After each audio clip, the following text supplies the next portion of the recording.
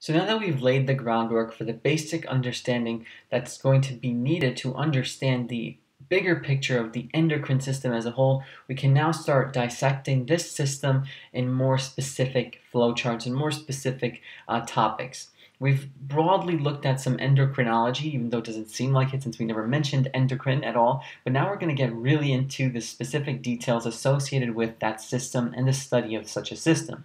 And in order to study endocrinology and the endocrine system as a whole, you absolutely need to understand about hormones. Hormones is a Greek word and Greek root which comes from the Greek root hormon, which means to put in motion.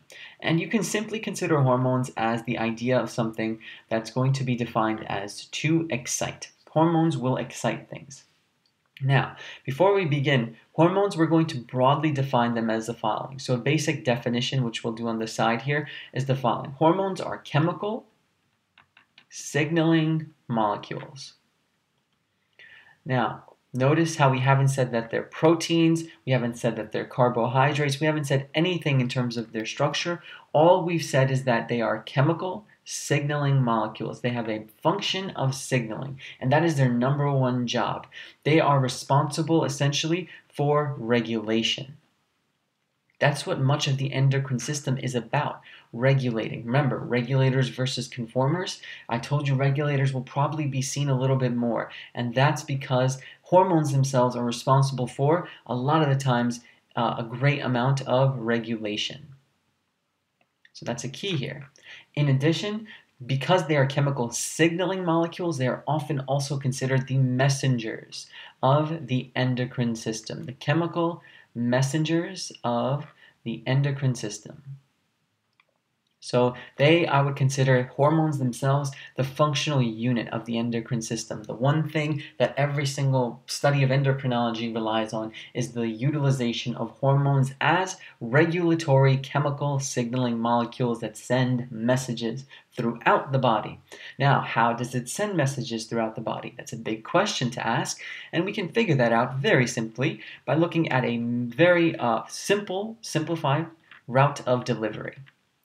Because again, this is a message, they are messengers that need to be signaled or sent somewhere. So they have to be delivered. And the delivery is quite simple, but it's very important to understand the steps involved. So, what's going to happen is the following. Whenever you talk about hormones, hormones most of the time will be secreted. That's a term we'll uh, expand upon a little bit later, but for right now, just understand that hormones are secreted specifically into body fluids. Now, you should already be thinking, oh, well, why body fluids? What's the purpose of the fluids? Well, that's because, remember, if you want to enter anything into a cell or exit anything from a cell, you have to make sure it's in an aqueous environment. Look what we're doing. We're taking a hormone, which is a chemical signaling molecule that sends a message, and we're putting it immediately into a fluid, an aqueous environment, because that's what our body's internal environment dictates. And that's what we do step one. So it's important. Aqueous environment right there. So secreted into a body fluid, a good example would be like blood. So hormones are secreted into the blood, sometimes on a carrier protein, sometimes they can float into the blood without a carrier protein. We'll get into those details a little bit later. But next, once you use the blood, I think of the blood as a highway, as a transport mechanism. That's because blood is all throughout your body, right? And you need to get this hormone, this little little molecule, this chemical molecule, and you need to send this message to let's say a cell all the way on the other side of the body. You hop on the blood highway, the blood highway takes you to that, and what you end up reaching is a target cell. Now, it's important to use this terminology of target cell because target cell uh, sort of tells you that there has to be a specific cell that's the target. And that's the big idea here about the route of delivery. Hormones are very, very specific to what they need to get to and what they need to reach. Thus, we don't just say reach cell, we say reach target cell. And not only that, once you reach the target cell, you have to make sure you correctly bind to target cell. TC for target cell, since we're going to be saying that a lot. So you reach target cell, you bind to target cell. This is a very specific binding that happens. And we're going to ask ourselves, how do you bind to a target cell? How could you possibly do this? Well, the target cell, it specifically has, um, and specific is the key word one more time, it has specific receptors. You have to have to understand that hormones rely on specific receptor recognition that has to happen. In order for this chemical signal to be understood, it has to fall into a specific receptor on the target cell for that specific hormone. You cannot tell already, specificity is huge in the endocrine system. And that's what governs the way that the hormones work. Hormones cannot just um, just go about and do their thing on any any old cell. There has to be a specific cell with a specific receptor that the specific hormone can fall into, and only these cells will be activated. Only these cells will get the message, and only these cells will respond to that message. So that's our basic route of delivery of a hormone. Now, I think it's worth noting that these receptors are very important, and thus we have to talk about them just a little bit more on the side here. So, if it hasn't been already clear, hormones, they are secreted into the blood and they need to get to a receptor and they need to bind to that receptor. Now, speaking of those receptors, what are they essentially? Of course, we have to talk about their structure since we're talking about physiology and anatomy. Their structure of a receptor is something we've seen before. They're usually going to be uh, consisting of a protein structure on the outside of a cell. On the outside of a cell, also sometimes glycoproteins can serve as receptors on the outside of a cell. Please do not forget, receptors are usually on the outside of the cell, and then we're going to write this down as on target cell surface. Why is that? Well, the target cell surface has to say, okay, I see that there's a hormone here. Uh, let's see, is it the right hormone that should be entering the cell? Because remember, semi-permeable membrane allows certain things in and allows certain things out. Okay, let's see if you pass the test of structure and re receptor and hormone specificity. Do you match the receptor that you are supposed to be matching to? Do you match the protein or glycoprotein? Yes, then you may enter. That's our idea of receptor specificity. So now that basically can be summarized by the idea of recognize, which I basically just said in words, and bind. So hormones recognize and bind, uh, the receptors, I mean, recognize and bind to specific hormones and vice versa. Once you have this specific binding, look how many times we say specific in this flowchart, specific binding to these hormones, you get a, I'm going to say it one more time, a very, very, trust me, very specific reaction, a very specific interaction. And this is essentially going to be very important when you look at any sort of hormone. So hormones rely on specificity. Please do not forget that.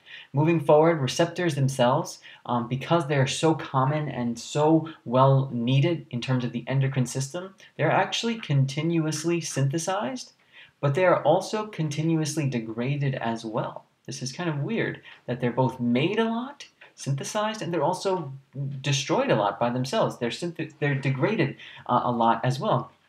So what we say is that receptors are synthesized when dot dot dot just to build some suspense when hormone levels are low this is going to sound a little weird for right now just give me a second hormone levels are low and also they have to be uh, low for a long time so low long time so if the hormone level is low, and it's low for a long time, what you're going to have is a specific response. And that specific response will be to make more receptors. And when you make more receptors, you also are going to have a sub-response, let's say, that will be like, if we're making more receptors, we're also going to degrade less receptors. So we're going to, we're going to make sure we keep the receptors that are there and we make more receptors. Now, the basic question that people ask a lot of times is why would you want to make them if the hormone levels are low? What's going to happen is if the hormone levels are low, the body is going to recognize this. The set point essentially is going to be lower than usual. And the body will respond by saying, hey, I feel that the hormone levels of hormone A are low. I feel like I should make a lot more hormones. And the body will do that. It will make a lot more hormones. When it makes a lot more hormones, that those hormones are useless unless you have receptors ready to uh, uh, to connect, to recognize and bind to those hormones that the body's about to make in great detail because it sensed that they were low. So what's going to happen is as a sort of preparation, these receptors will be made in great, great quantities and they will be degraded in great, uh, in much less quantities in, in essence, what we're doing here is we're preparing for the body's response. Body will sense hormones are low, and they will say, and it will say, you know what? Let's make more hormones. Those hormones are useless unless there's a specific receptor there, and those receptors will be made in great quantities when this situation arises. And the same can be said, well, not the same, but the exact opposite can be said when we have the degraded situation. Hormone receptors are degraded when So if you just take the opposite here, that's all you have to do. When the hormone levels are high, so the body says, hey, there's so much of this hormone, right? Hormone levels are high, and also they're going to be have to be high for a long time. So that's the key idea. They have to be first of all, uh, hormone uh, hormone levels low, of course, I messed that up. Hormone levels high and high for a long time. This would essentially mean that you have to make less receptors. Makes less receptors because now you're basically uh, responding to the body by saying, hey, you have way too many of these hormones. We're not going to be making the receptors necessary for them to be uh, brought into the cells. And you know what we're going to do? We're going to also degrade more, degrade more receptors. And because we're degrading more receptors, these hormones are never going to enter cells. Thus, as a response to the high levels of hormones, the hormone levels will naturally just get lower because they have no receptors to recognize and bind to. That's a classic, classic negative feedback response that we see here. And that covers our first look at hormones. And now we're going to be looking at the specific functions of these hormones and how they work as we move forward.